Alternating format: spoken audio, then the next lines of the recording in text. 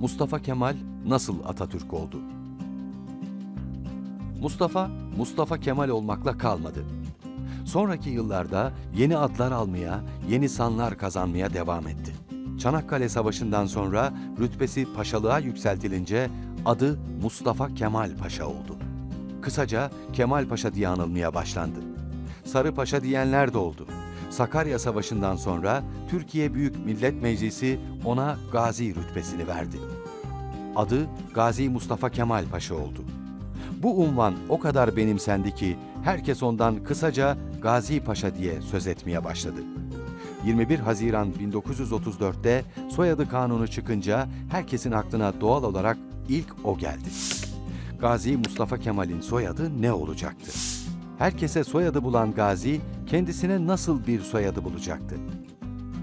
Mecliste, gazetelerde her gün ortaya yüzlerce öneri atıldı. Konuşuldu, tartışıldı ama bir karara varılamadı. Günler, haftalar geçti.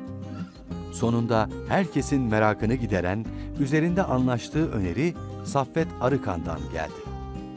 Daha sonra Milli Eğitim Bakanlığı da yapacak olan Saffet Arıkan, Atatürk soyadının nasıl ortaya çıktığını şöyle anlatmaktadır.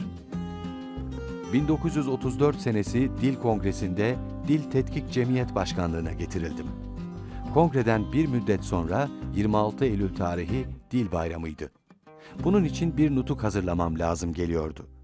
Bu nutuk müsveddede görüldüğü gibi Ulu Önderimiz Atatürk Mustafa Kemal diye başlıyordu.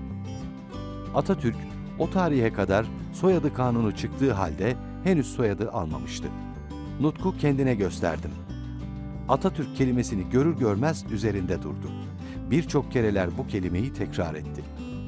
Çok güzel bir buluş ama çok iddialı, dedi. Ancak müsveddede tasihler yaptığı halde Atatürk'e dokunmadı.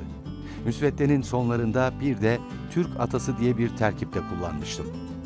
Bunu daha fazla iddialı bularak Atatürk tarzında tasih etmemi emretti. Başka bir şey söylemedi.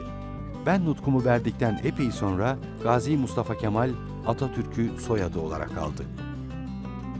Anlatan Baha Arıkan Derleyen Kemal Arıburnu Atatürk